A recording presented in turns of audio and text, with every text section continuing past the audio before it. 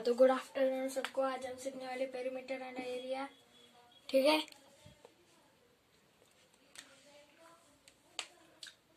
कुछ भी लेसन करने से पहले, कुछ भी सीखने से पहले हम इंट्रोडक्शन करते हैं उस चैप्टर का, जो हम सीखने वाले थे, जो अभी सीखने वाले हैं। ठीक है?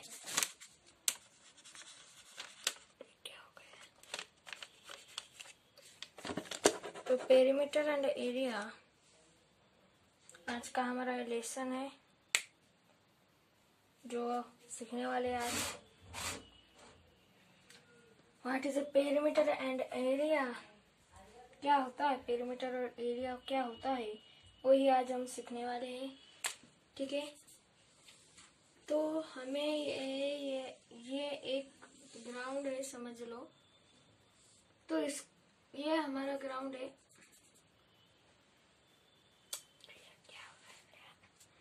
ठीक है, ये हमारा ग्राउंड है।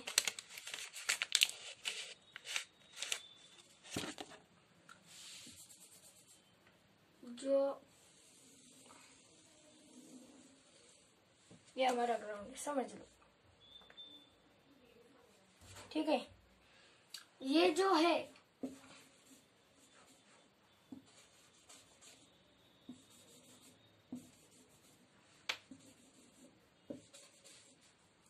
ये जो हमारा है रोड समझ लो ये ग्राउंड का चलने का। और ये जो है वो पेरीमीटर कहलाता है।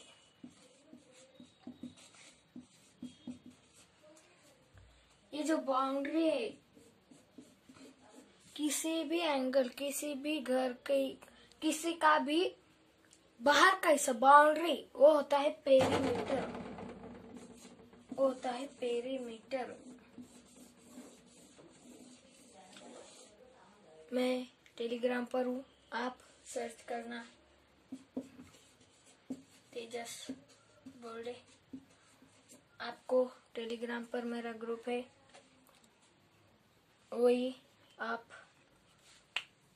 वहीं पर से आप ज्वाइन हो सकते हो। ठीक है? तो ये होता है पेरीमीटर ठीक है?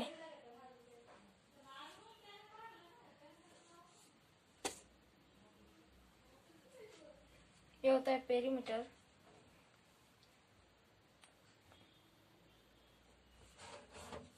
ठीक है? और इसके अंदर का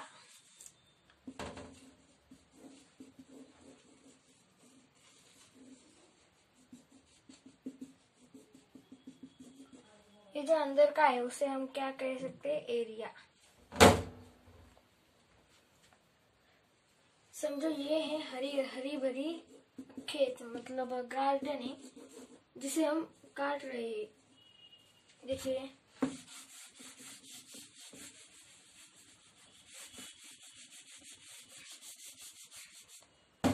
ये गार्डन है। यहाँ पर पेड़ लगे हुए हैं। ये गाय घास गार्डन है। यहाँ से हम इसको जो काट रहे हैं, अंदर के हिस्से से, ये जो अंदर का हिस्सा है, उसे हम काट रहे हैं तो उसे कहते हैं हम एरिया। ठीक है? Area is the region enclosed by the boundary of a close figure ठीक है? मैं यहाँ पर एक फिगर दिखा रहा हूँ आपको। देख सकते हैं क्या आप? देख रहे हो?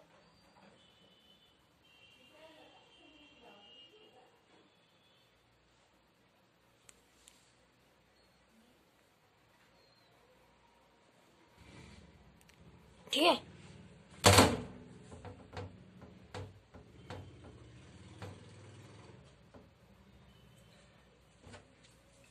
कुछ सवाल है आपके लिए, जो आपको सॉल्व करना है। मैं अभी आपके लिए बहुत सारा टाइम देने वाला हूँ।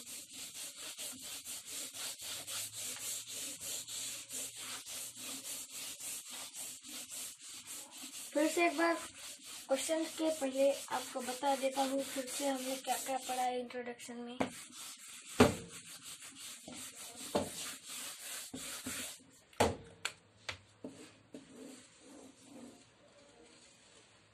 ये समझ लो एक रेक्टेंगल है। ठीक है?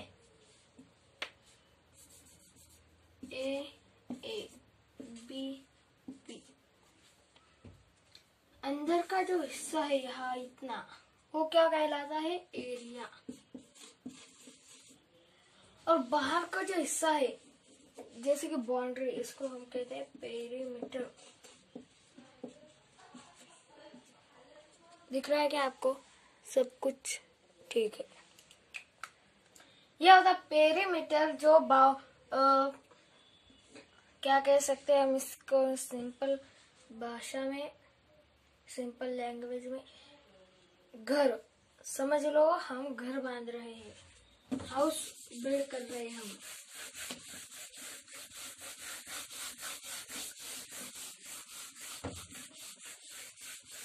समझ लो समझ लो।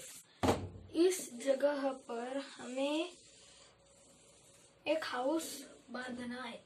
तो हम पहले उसके बाहर का हिस्सा बाउंड्री उसका बाहर का हिस्सा क्या करते हैं? नापते हैं पहले। तो उसे हम पेरीमीटर कह सकते हैं।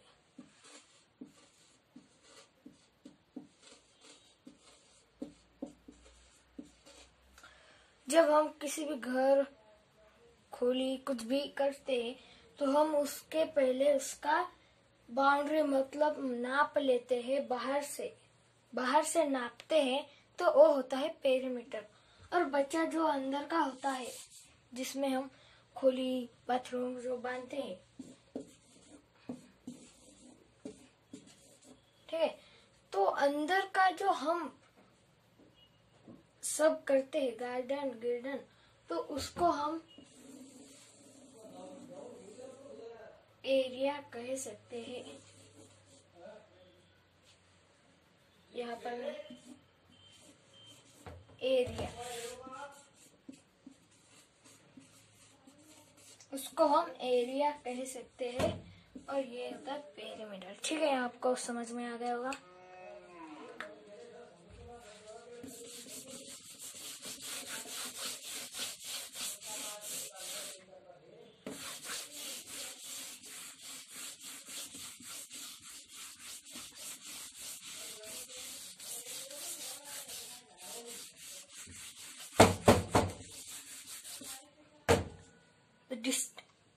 क्वेश्चन है आपके लिए the distance around any the distance around any shape is its इसे हम क्या कर सकते हैं हैं? ए नंबर का ऑप्शन दिया आपको पेरीमीटर और बी। एरिया। टाइम है।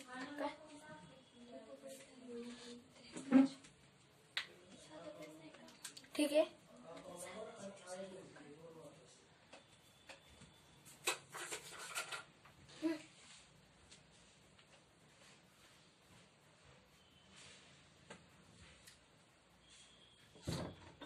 The distance around any shape is its perimeter or area. कह सकते हैं पेरीमीटर क्योंकि एरिया क्लोज फिगर के अंदर आता है क्लोज फिगर के अंदर, ना कि बाहर का बाउंड्री तो डिस्टेंस अराउंड एनी शेप कोई सा भी शेप हो।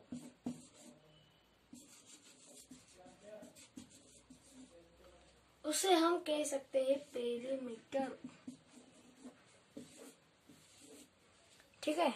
तो इसका उसके बाद का कोई क्वेश्चन है? नहीं है। तो इसके बाद हम सीखने वाले हैं। Perimeter and area of square and rectangle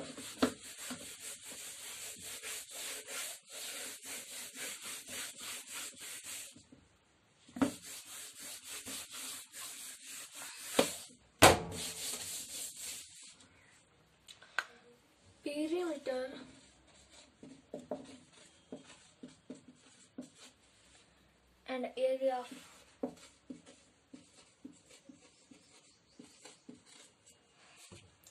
square and rectangle.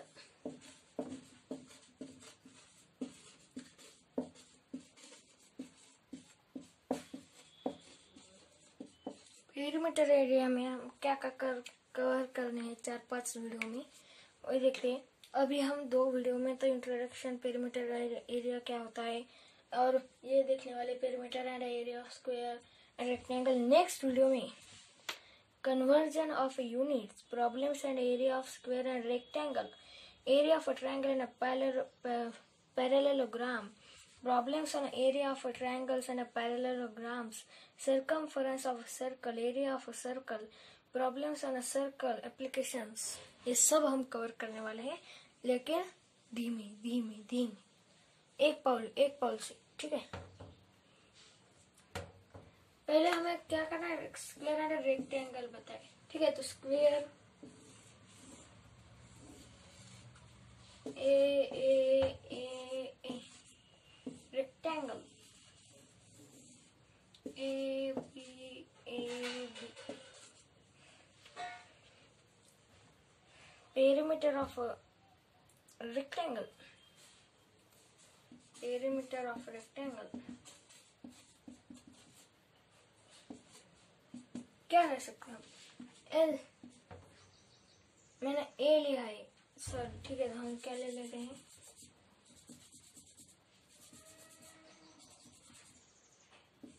हम ले लेते हैं इसका ए इसका ए इसका ए इसका ए इसका यल इसका यल इसका यल इसका L L into sorry sorry यार चारों साइड का तो यल नहीं आने वाला।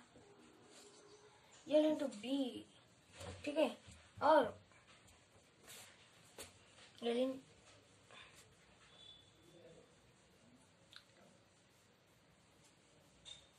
L plus B plus L plus B two L plus two B तो हम क्या कह सकते हैं? Two. In bracket L plus B जो बीच में का जो कोई स्पेस होता है, उसको मल्टीप्लाई होता है, उसमें मल्टीप्लाई होता है। और एरिया का हो सकता है? Area of rectangle area of rectangle होगा यल इंटू बी अब पेरीमीटर ऑफ़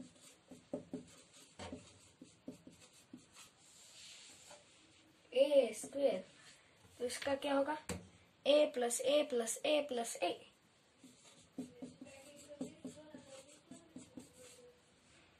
इसका फोर ए भी कह सकते हैं? वन टू थ्री फोर और एरिया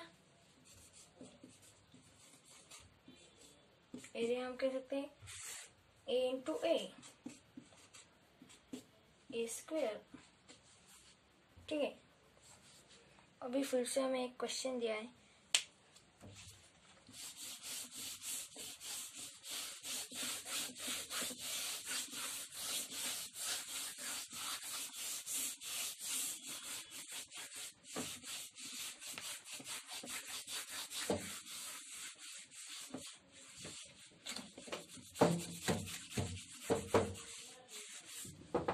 ठीक है ये भी कॉल दे रहे ठीक है हमें अभी ठीक है। हमें अभी एक क्वेश्चन दिया गया है। ये हमें स्क्वायर दिया है। What is the perimeter of square what is the perimeter of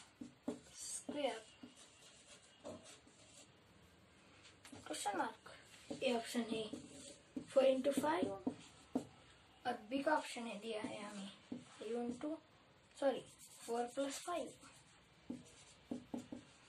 choose कीजिए चूज़ इंट दे दो लेना है दे दो.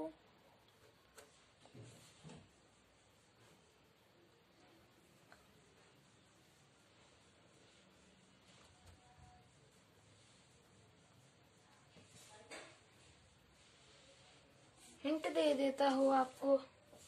A plus A plus A plus A तो चारों साइड की प्लस कर दो, जिसका आंसर उसके प्लस के बराबर आ जाएगा, वही आंसर हो जाएगा। तो मतलब कि five plus five plus five plus five तो इसका आ जाएगा ट्वेंटी तो इसका भी आएगा ट्वेंटी और इसका आएगा नौ।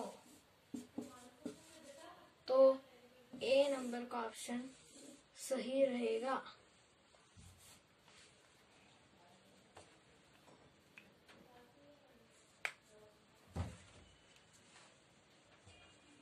पेरीमीटर ऑफ़ स्क्वायर हम ऐसे भी कह सकते हैं।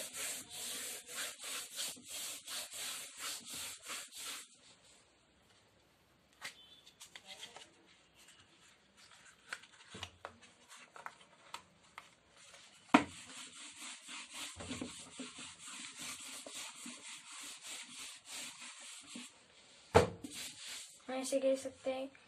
पेरीमीटर ऑफ़ स्क्वायर का फॉर्मूला हम ऐसे लिख सकते हैं। Four into length of a side ठीक है? What is area of a square what is a area of square दिया है हमें स्क्वायर ए ए ए ए तो हम क्या लेंगे? A plus A B A into A yes of course आप बी लेंगे। ठीक है बी ही लेंगे आप।